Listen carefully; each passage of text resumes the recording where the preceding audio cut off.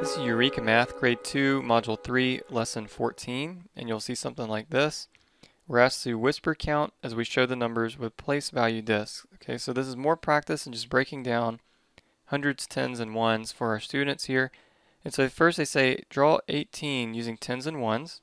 Okay, so we don't need any hundreds, but here's my tens, here's my ones. And I'll go ahead and do that the same thing on the other side. Okay, so if I do this with tens and ones, I have one ten and then eight ones. And that's not too bad. We have a dime and eight pennies, right? Okay, but now it says on the other side to draw 18 using only ones. Okay, so hopefully this will be frustrating for our students because that's the point. We want to show them it's not the most efficient way to do this and we're trying to just make the connection. So there's 5, there's 10, 15, 16, 17, 18. There it is in only ones.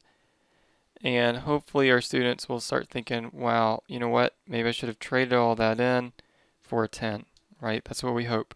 Okay, let's look at part B. This time it says draw 315 using hundreds, tens, and ones. There's hundreds, tens, and ones. Let's do hundreds, tens, and ones over here.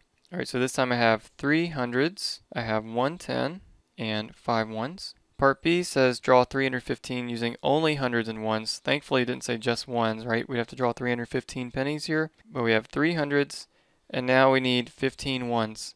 So we count 1, 2, 3, 4, 5, 6, 7, 8, 9, 10, 11, 12, 13, 14, 15. Great. Now also you'll have questions that look like this that say whisper talk the numbers and words as you fill in the blanks.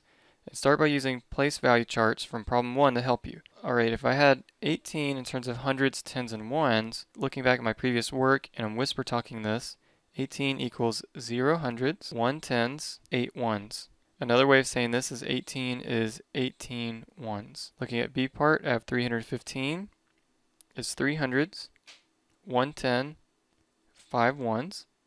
Or another way of saying that is 3 hundreds and 15 ones. 206 could be written as 200s, 0 tens, and six ones, which is another way of saying, oh, be careful now, we're, here, we're talking about tens and ones. Well, let's see, 200s is the same as 20 tens and six ones. And then 419 we could write as 400, 1 tens, 9 ones. And that's another way of saying 41 tens and nine ones. Okay, so we're again, we're breaking down numbers in a visual way for them to understand how this works. If you have any questions on this at all, I'd be glad to help. I hope it makes sense. Thank you for watching.